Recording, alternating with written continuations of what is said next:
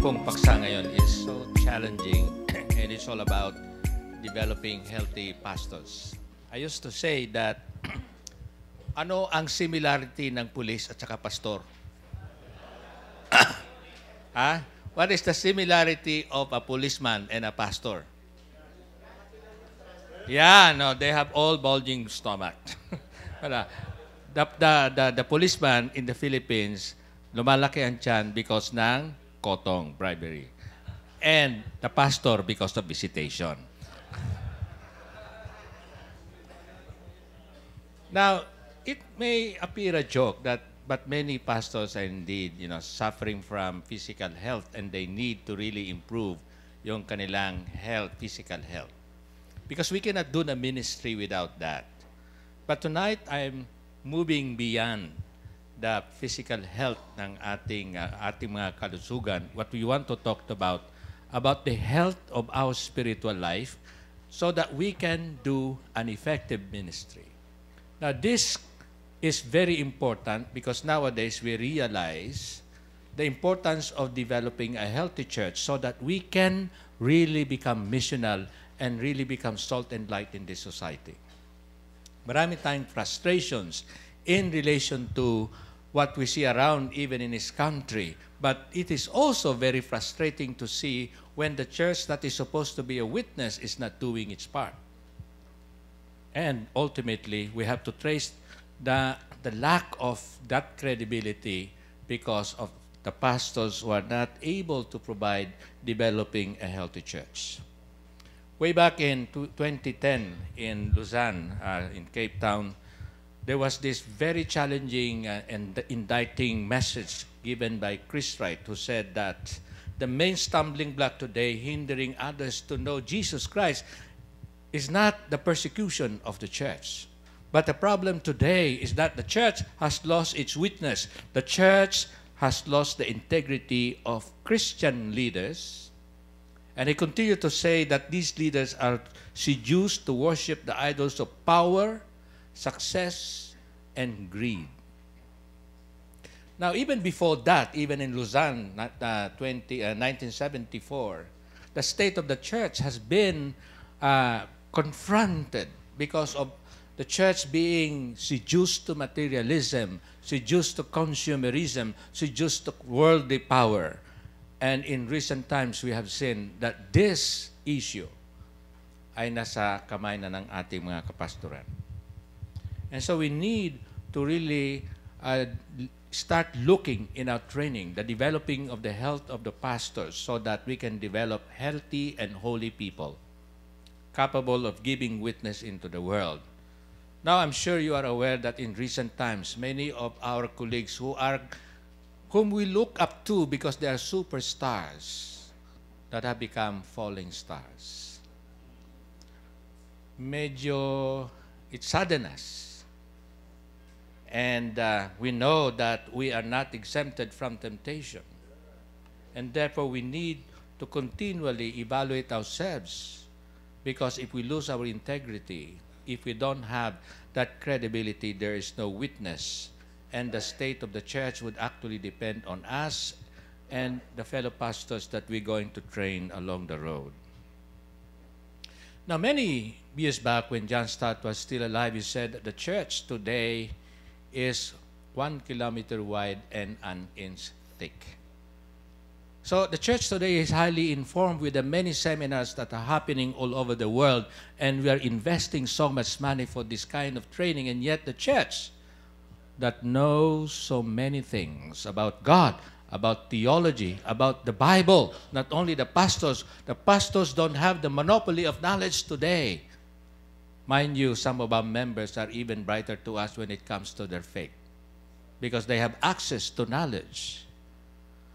But knowing so much about the Bible, knowing so much about God does not guarantee that we really know God in a very intimate way.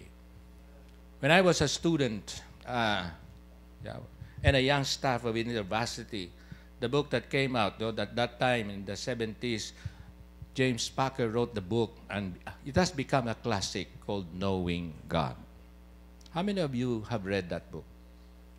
If you have not read it. It's now a classic. And there's one thing there that he said that I have not forgotten even until now. He said to know God is to know is not to know about God, but to know him by experience. And yet, you know, experience and knowledge is something that we contest in theology. And our seminarians, our professors are a bit skeptical when we talk of experiential knowledge of God. It tends to be subjective. But there is no credibility if we really do, don't know God by experience. And so it's very important that we begin to examine ourselves, and I hope that our reflection this, this evening will help us to evaluate the way we train our pastors. Now, we know uh, some of you have already uh, been familiar of the Revealed survey that have come out many years ago. This was published in Christianity Today. And the Revealed survey studied and researched the state of some of the mega churches. And one of those mega churches that was studied is the Willow Creek community in Chicago. And you know, in these mega churches, it is a state of the art church and they have many programs with the intention of really developing their members to grow like Christ. But it was disappointing that if it is in the scale 1 to 5, those who have gone into the training and those who have sat to listen to God preaching did not move the middle. They were just comfortable and convenient attending Bible study, but not willing to be radical enough to be committed in following Jesus Christ. When Bill Hybels was here, I asked the same question. I said, What intervention are you doing to respond to this revelation that you had that was done? And he said, Well, we will do more preaching on doctrine. And yet in his story, he was talking about godly men who have journeyed with him and really crossed the line and moved towards really committed to the Lord Jesus Christ. And I saw how he was mentoring them. And yet, it was not part of the intervention that they want to do. They still want to proclaim from the pulpit. And so we need to continually uh, examine that. That doesn't guarantee that our churches are growing in attendance through programs that we have maturing disciples of Jesus Christ we know that we can only multiply our own kind. And to disciple others, we need real disciples. Now, of course, this is a very dangerous topic, and it makes me humble when we talk about who is a healthy pastoral leader. Now, you can make many definitions. It's simply that we are becoming Christ-like. The bottom line is we become Christ-like. Hindi natin kailangan palawigin. We don't need much explanation. It is being transformed and being conformed in the image of Jesus Christ. But it doesn't guarantee that people are being informed about Christianity, that they are being formed in Christ likeness so that they are transformed people that will make a difference in this world. And these are the disturbing questions today. We need pastoral leaders. So in topic, we are talking about pastoral leaders because we have seen that in whenever we have conferences, we have training, many of those who are attending are not officially the pastor of the church. They don't have the position and the title of the reverend, of the bishop, of the super reverend. They're just ordinary leaders, but they're the ones really pastoring in the church. And they want to attend, so we call them the pastoral leaders. And many of the pastoral leaders, both the lay people and the pastors, the real issue is really they don't have a healthy self-concept of who they are. Marami sa atin insecure. So kailangan natin na magbigay ng pogi points or we add other names to us attached to our name just to build up our image. And I'll talk more about this, but this is a very important concept because in order that we can be accepted, we are seduced to the climate of success where we have to compete and compare and exercise control so that when we can reach our goal. And that is a problem. And so if there is to be a healthy self-concept of who we are, not defined by our performance, not defined by what people say to us. We need inner healing, and we know already this. So much so many studies have been done about damaged emotion, and they manifest. So at a given time, Pastor Rowley, say, Rowley said, I have seen many dysfunctional pastors pastoring dysfunctional churches. And the root issue is that inner hurt that remain unresolved. And you know what happened when we have not resolved that insecurity in our lives, that feeling of rejection, then we become leaders. We are given the power and authority. It is dangerous to give power to a leader that is insecure. Imagine Saul. So he kept hunting David. And my, how many senior pastors who are acting like Saul? Because they are insecure. They could not accept. They have been in the ministry for 50 years and they don't want to step down. And they want to control. So there is no difference between the dynasty that we see in politics and the kind of dynasty we see in ministry. So we're talking about holiness. We're talking about wholeness of integrated person in thinking, in feeling, in acting, in the totality of life that we can really look at ourselves without comparing with others. We are so secure of who we are simply because God loves us. But we are still locked not in holistic perception, but we are still locked in dualistic perspective. We still divide the sacred and the secular, and it manifests in our studies. And therefore, it is more important to succeed in ministering a church than to minister to our own family. Why? It's more sacred to be in Bible study than to be with our family. And sadly, this is also the expectation of our church members. And we have to please them if we, are, if we want to keep our job. And the one that we sacrifice are the people we love so much. So growing a healthy pastors is about transformation, and we know that this is a slow process. We know that, isn't it? We cannot transform people overnight, do we? Ay, tagal na nga natin, di pa tayo natatransform. Tayo pa lang, ano?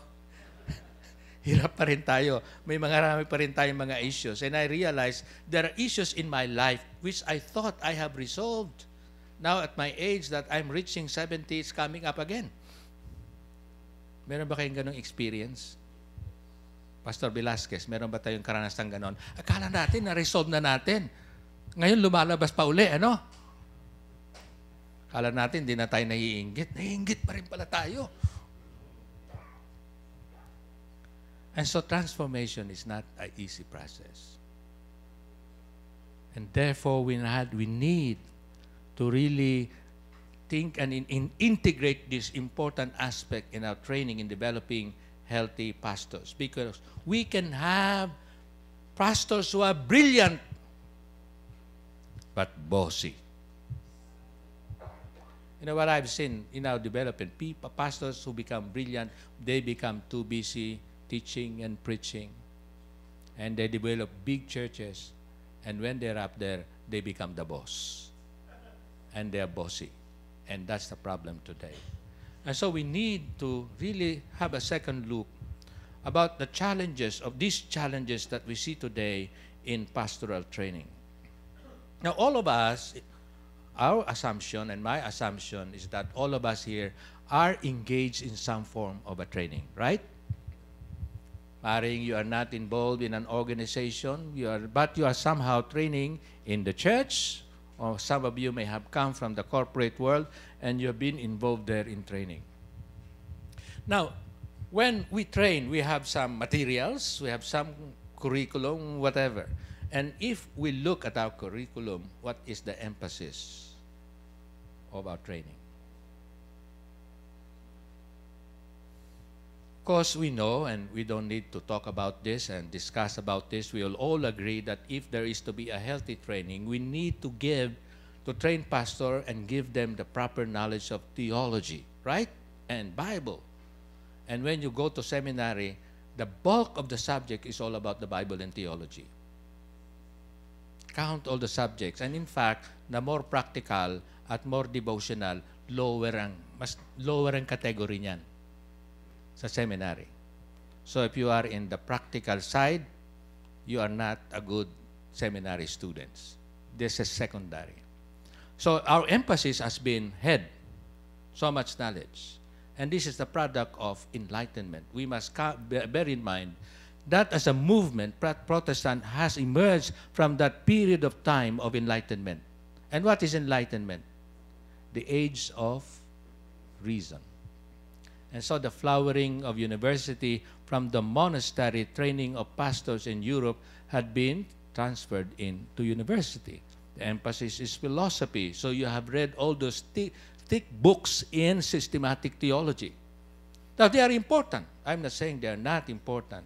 The problem is we put most of our eggs in that basket. That's the problem.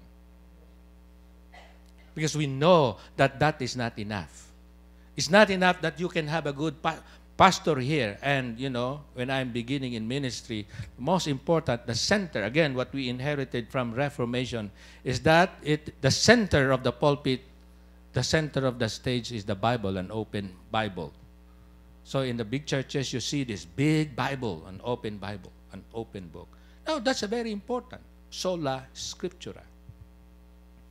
That is very important. But I realize that you can be a good pastor, a good preacher, but doesn't mean to say that the church is becoming healthy. Do you agree or disagree? Now, many seminary professors and many Christian leaders would not agree because the heart of ministry is to preach. But who is the most problematic people in our church? The young believer who does not hear, who do not hear, have not heard our preaching, or the old believers who have heard all our preaching all believers. Now, I think part of the problem is that we have not engaged them to process. And so, if we want really to ensure that this proclamation of the knowledge, the teaching of the knowledge, we must review our way of preaching and way of teaching. It's not enough that we download it from the pulpit. It must be processed in the pew where people can ask the hard questions and make sure that the rubber hits the road. At yun po ay, kaya lang haba ng preaching natin, ano? So gusto nang umuwi ng mga members, we are still preaching. And they have forgotten all that we have preached. And so when they start to talk, they could only remember our stories. So we need to understand that this model that comes from enlightenment still dominate the way we train people. And so what happens, especially for us who have from, come from the formal theological training, siyempre pag pumasok ka sa Bible school, Bible college, seminary, you are in a classroom setting. Right? And we do the training in the church for our people like, like in seminary. They are in the classroom. We have Sunday school and everything. And uh, so, ang problema, when we are, when we were in the seminary, we are even finding it difficult to read all the assignments. Do we expect our people who are uh, nagtitinda sa palengke and then, uh, you know, tricycle driver and jeepney drivers, and when they reach home, they don't have the energy to read the assignment. They will only watch Pacquiao in the basketball. And that's all. So there must be another way to train. It doesn't mean to say that if people are not engaged in so much reading that they will not read, learn. Because Jesus Christ did not train his disciples by many 1,000 pages of reading assignments. Now, they are important. We need scholars in the church. Don't get me wrong. But for most of us who are engaged in the day to day developing our churches, we need to train our pastors who are not above intellectual capacity, but really engaged with the people in their day to day life and work. That's where we're going to that's where we're going to explain the gospel in our training so that our training will really be rooted in the development of people. Another things that have changed in the situation today is we look at churches as an organization. So one of the problems I, I, I realized that need to be worked out in theology is ecclesiology. We are pastors and we are developing churches. But what kind of church? I must say, and I'm afraid that most of us, all of us perhaps, are actually developing churches which reflect corporate structure. Corporation. Kaya ngayon, we have to change the title of the pastor, no longer CEO, uh, no longer pastor, but CEO, Chief Executive Officer. And our leaders in the church, nainggit sila dun sa lumalaking churches and therefore, they expect that we develop so many programs and we kill all the people to attend. No? Kaya yung mga husband ng mga wives, nagagalit because they stay in the church the whole day, hindi pa nagluluto. And so we need to think of this, that the church is not a corporation, but rather a community, a family. And you know, in the church, we need to engage more in conversations, talking about life, the significance about what we are hearing from the sermon. What's the meaning of the message today once I return to work? And the place to engage them is in conversation not in the classroom. Because when we were studying in the classroom, we don't want to ask the question. So when the teacher says, Is there any question?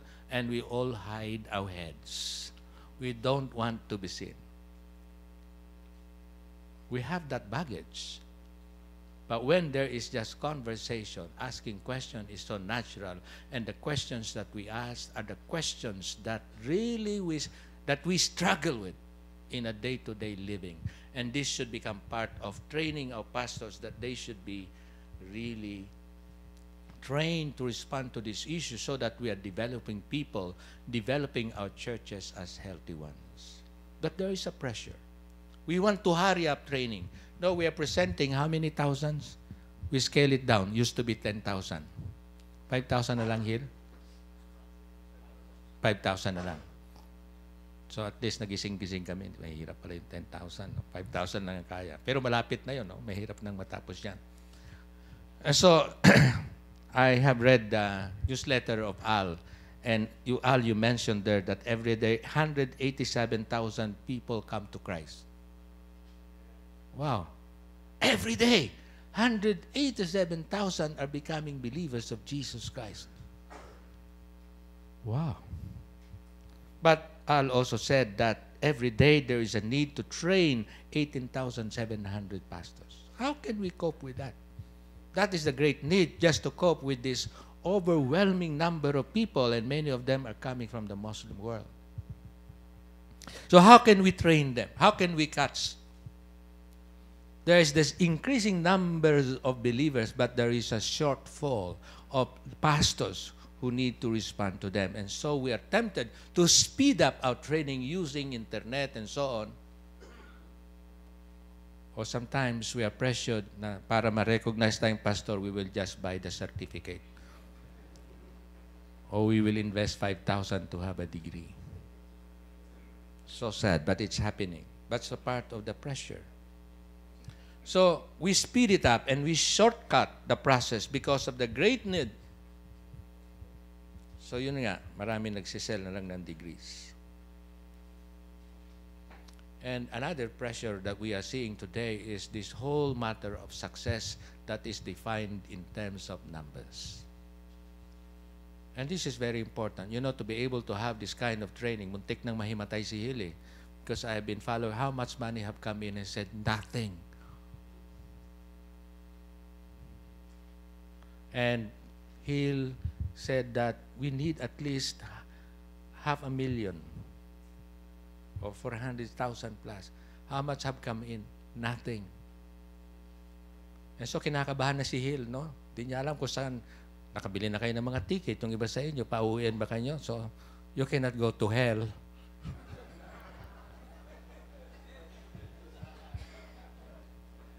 But praise the Lord, some money came in. It's not the amount, the targeted amount, but it's almost there. We praise the Lord. But, you know, that is the pressure that we have today. Training is not for free, although free and registration, somebody paid for it. We cannot get out from this place, CDC, without paying Joe below. Nag-hire na nga siya ng security guard to be sure that we will pay this. It's, it's very expensive. But the good news is that there are so many people who would like to invest on training. But the catch is this. If we can show that we are successful.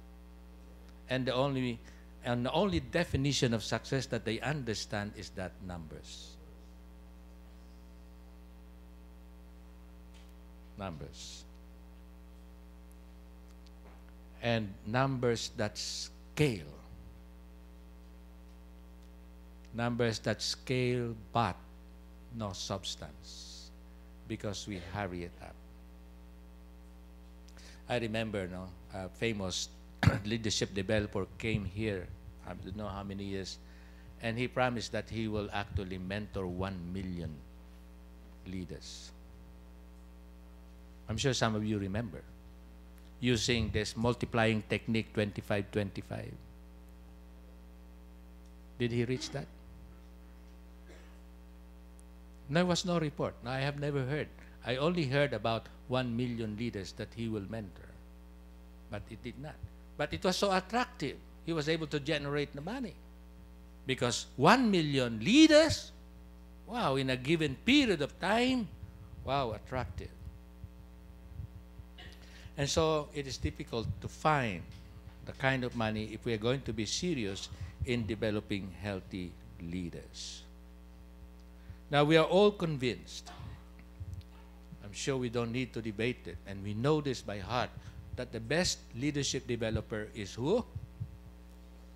Who is the best leadership developer? Jesus Christ, of course. He has proven it. He turned the world upside down by concentrating on the 12 people. Ang isa Judas pa. You know?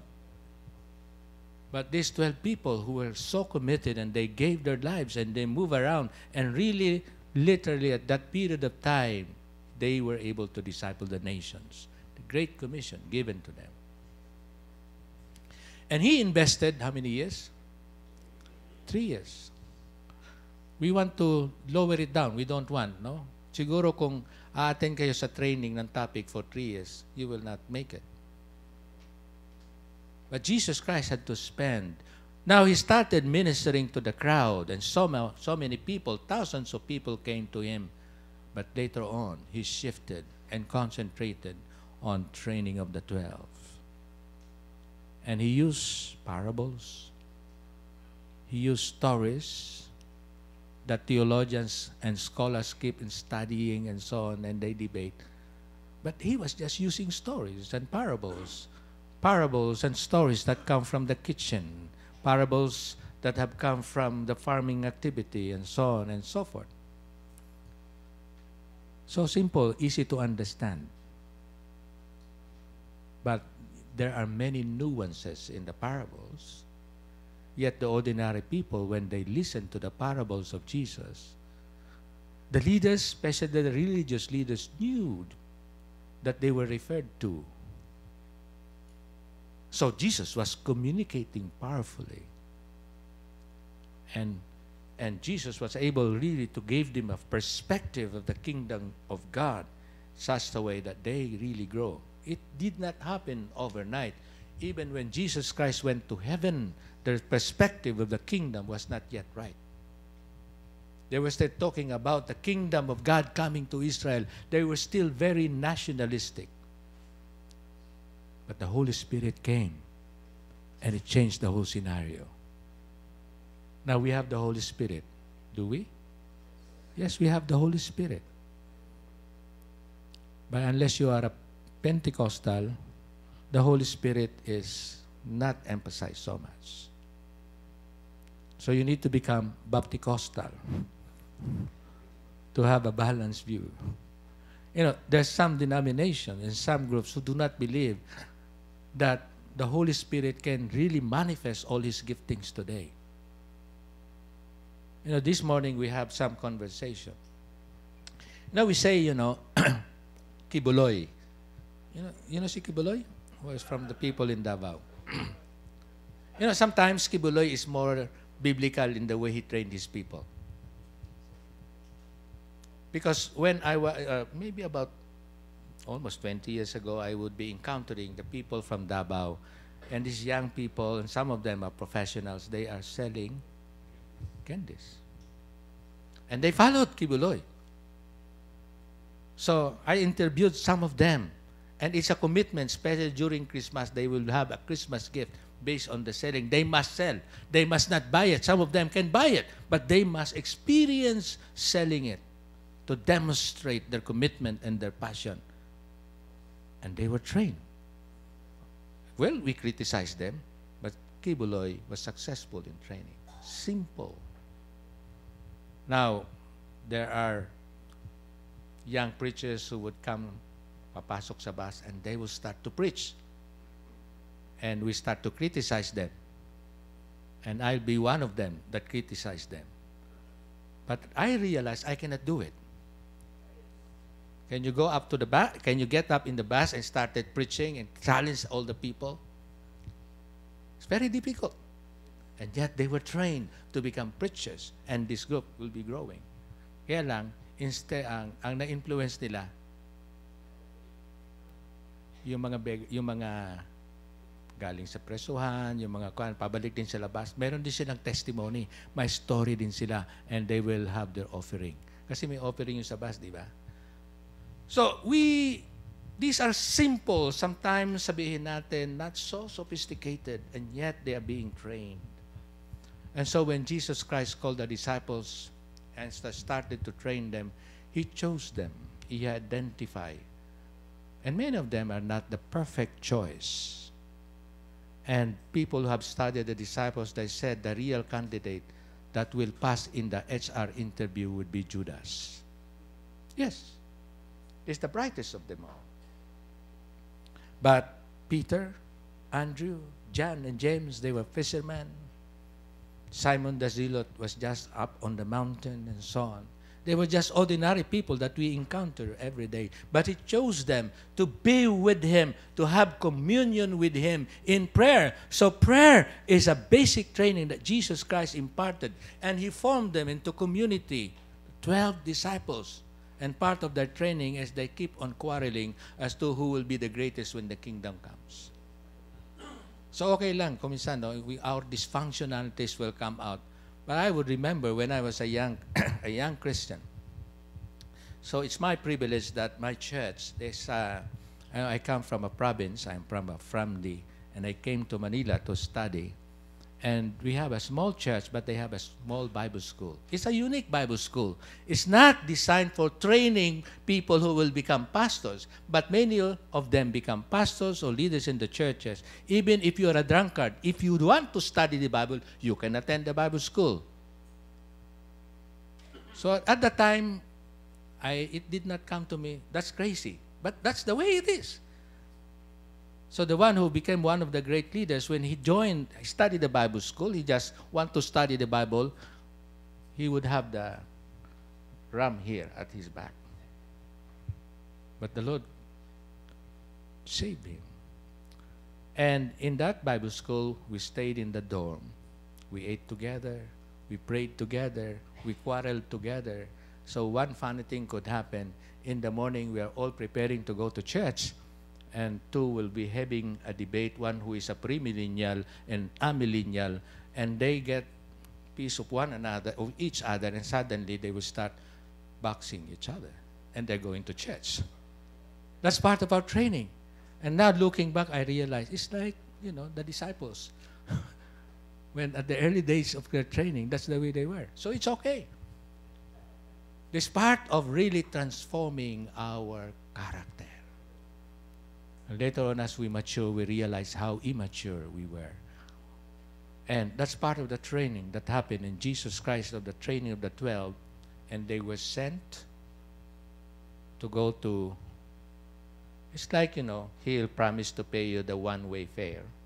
You come here by faith, and He'll said afterwards, Sorry, we did not raise the money. How are you going to go home? By faith. That's the kind of training that Jesus Christ did. He sent them two by two. Don't bring your bound and so on. But they learn how to really depend on God even if they were so afraid not knowing what to say when they are faced with authorities and that Jesus Christ simply said the Holy Spirit will give you the message to say. I do not recommend that every Sunday. You must prepare. Now, in all of these things, my whole point is this. We need training that will really form our mind in the mind of Christ. We need theology. We need the development of skills. But if we want to develop healthy pastors, we cannot just give a passing comment that the heart is important also. Because we know that in the scripture, when God looked for the next leader, he that did not look upon those who have good impressions to be a good king. And Jesus looked into the heart. You know, when, pangalan tatay ni David, when Jesse paraded his son, he did not even consider David qualified. He did not even, you know, think that David, you also present yourself. And when you read the story of David, some of his brothers have uh, belittled him and did not, you know, they don't did not like him. And yet God looked into his heart. He was not perfect. He would not qualify in topic when we examine his character, but his heart is right with God. And so, what I'm trying to say, if we want to develop, we must really learn to integrate. Part of our training process must be the integration of the development of the heart. And we cannot separate the ito for the heart, ito for the mind, ito for the hands, and so on. No, we are a full person. And therefore, I hope that in our training process to develop a healthy pastors, we consider these areas. Personal experience. Our story must be an important element of the curriculum in training. And our story is a story of brokenness. And we had conversations over the table a while ago that we cannot afford not to deal with this issue of the story of our lives. Our experience in the ministry should be part of the story. That's why people say if we are to become good leaders, we have to become reflective practitioners. We need to keep reflecting because I just realized that not everything that I need to know about God can be learned from theology books. Now I am also engaged in really coming alongside with missionaries ministering to the Muslim communities. Our Pastor Ed is here. And we are coming alongside with the Muslim background believers. Many of them are uneducated. But God is real to them. God is real to them. Now, we become educated and we become sophisticated and we doubt the tes- testimony of their experiences. Uh, recently, I was talking with one of these leader in the Muslim world. He, I think he just reached grade, grade 6. But he's very passionate and just recently he baptized 12 disciples, 12 new believers. Wow. You know how, how they baptized? they baptized one another. So he baptized, so the six men or five men he baptized, and the women will also, he baptized one, and one will baptize the other. Until, you know, each one is learning how to baptize when they are baptized. Is that possible? No, in that denomination, that is horrible. You are not licensed. So we have many protocols. We make it difficult to minister. But that's the way they did it. Is it a complete baptism? So he just demonstrate, this is the way I was baptized. I will baptize you in this manner. And they baptized. And I asked him what happened afterwards. Wow, they feel so great. They didn't realize that Isa can still use them just to baptize. They, that was very serious to them. So one time he's going to a village and his companion was asking, we must visit that place. I said, you know, I don't have enough gasoline. No, just go. And so he tried. And of course, they would not reach the village because they don't have enough gallon. And suddenly it stopped. And lo and behold, they stop in a place where there is a gasoline sari-sari store. You know, a gasoline placed on the battle of, you know, uh, Coke and Pepsi. And he was able to buy and put more gasoline, add gas, put gasoline in the tank, in the empty tank, and they were able to reach the place. And that was evening. Following day, he went back to the same place, and he was looking for the man selling gasoline. And he could not find. And he asked the people, Where's the gasoline store here? There is no gasoline store here. Who sold him the gasoline? Now, these stories are so common that you encounter, especially in the villages up on the mountain. People who do not read and write, but people are converted. Churches are being planted because they are simply following the Lord Jesus Christ. I don't know whether it's still true today.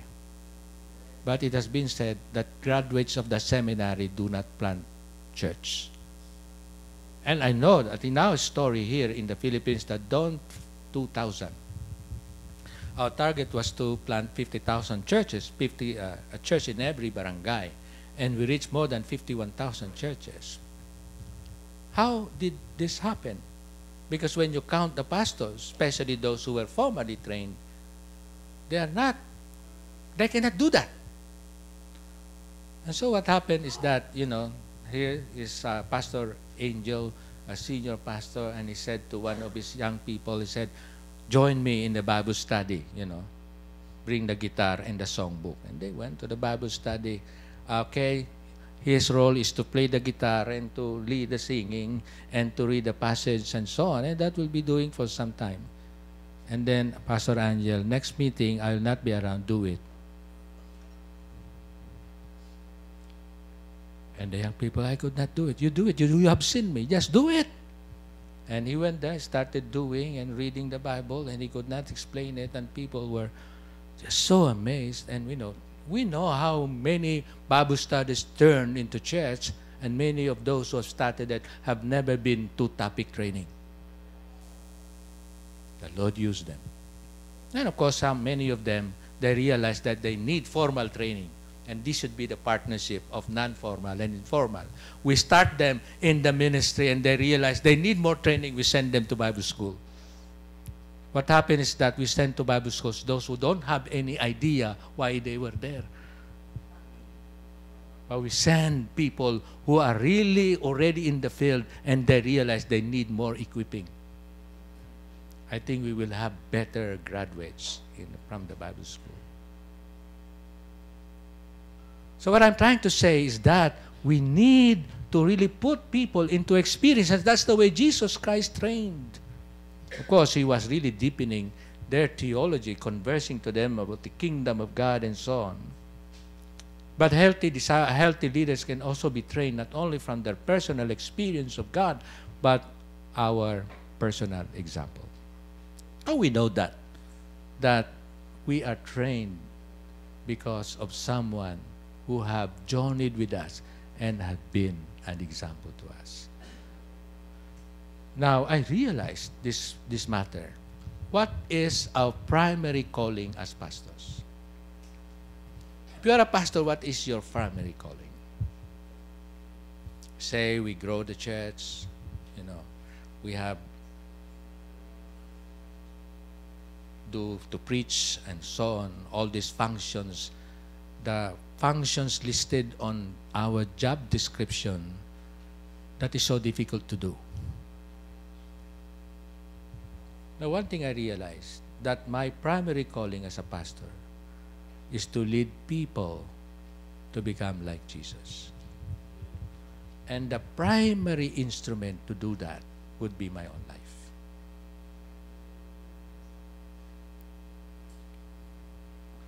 We cannot underestimate that. All of us here would testify that there is someone who have demonstrated to us what it means to live the Lord Jesus Christ, even if that person is not perfect, yet that person has been very instrumental. So I'm glad to, to see this morning in the what Ramesh presented, you start from mobilizing, then you have mentoring, and then monitoring. When we were talking about topic, we also realized that it's mentoring that is critical. Now, in mentoring, we emphasize accountability. But if accountability is going to work, we need to be vulnerable enough to permit people to have accessibility into our lives. Because most of the time, what we demonstrate are only the good side. But they need to see the reality of our own struggle.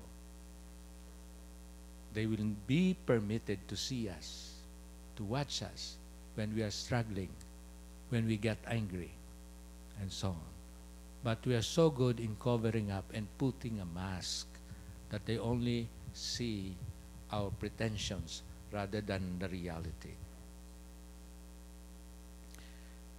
So part of the thing that we need to be doing really is when I talk about accountability is peer engagement of life on life mentoring. I hope that all of us have mentors. Uh, well, kasama na rin yung tormentos, but you know, we want mentors. And the first thing that we need to learn is to be mentored. And many have seen that the reason many disciples today and many leaders today are not discipling simply because they have not been discipled. Because we don't see, at least now we are seeing this tradition, the tradition of intentional discipleship is not part of the legacy of the church. It was coming from the campus ministry and the youth ministry. Because in the youth ministry and the campus ministry, the relationship is more informal. So you have fun together and you live together, you laugh, you talk about your issues, you talk about your love life, you talk about your sex life, everything under the sun, you talk about it. And later on, one of those who had been in this group with me, and he was looking back 30 years thereafter, he said, The only thing I could remember, I did not remember the exposition of Kuya Herman. I remember what we talked about in their house. And that was the thing that really shaped them. The perspective at looking at all areas of life from the perspective of the kingdom happening in conversation in this engagement of peer-to-peer mentoring. And lastly, part of the thing that form part of developing healthy pastor is coming to terms with our own pains in life. I have already mentioned that. One time there is a denominational leader who was asked to step down from his ministry, from his leadership position because the trail of blood in his ministry was there. Many limbs were, limbs were littering because he was so destructive and violent in the way he dealt with his own people. And then he was asked to go into counseling and he was reflecting experience. And this is what he said, and I could not forget it. Now I realized, he said, that the reason I am hurting others is because I am hurting myself. Now, if that pain is not healed, not only that we become dysfunctional in our life. Now, remember that I said that our life is our major instrument for leadership in guiding people to Christ. If we are living dysfunctional lives, Yes, we know how to preach well, but somehow we are not exhibiting the humility of Christ. There is problem there. And so we need, we cannot live well, we cannot really live the way of Christ if there is no healing in our own inner lives. So I hope that we can include people in the ministry like those involved in inner healing, in ancient path, no. And and I went to seminary and I did not e- experience that kind of ministry. But this is very important and very critical. Not only that we become dysfunctional if we are not healed, the dark side of our life will emerge, especially when we are already in position of leadership. If our inner hurt are not healed. So what my, my, my plea this evening is that let's coordinate, let's collaborate, and if we can, let us integrate. Not just the training of the head, not just the training of the, the, the hands and the skills, but the training of the heart as part of the integrated person that we need to train. And this we cannot hurry. This will take time and so on. Topic, uh, when we started Core 300, anong year yun, Philip? 2005. And this is now 2018. So we are still in that. No, it's not yet uh, finished. So it's a long process. And those of you who have been there, it's a long process. And we need to really coordinate. We cannot say that now you have the certificate, you are done. No, we have to continue on. So one new ministry that PCEC has invited is Asian Access. Asian Access is a very simple, it attempts, it attempts to really do training in the way like Jesus Christ trained. So they will invite 12 to 16, 18 people and journey for the period of two years. They meet four times a year. So we try, we, we discuss simple things, things that we already know, loving relationship with God, discipleship, intentional discipleship, and how we can plant churches. These simple things. Actually, those who would come, I know that already. And if you are a trainer, I have my module on that. But that's not the issue. It's not the content that is important. We attend the training to process and we begin to reflect ourselves and we realize, yes, we know it here, but it's not yet here.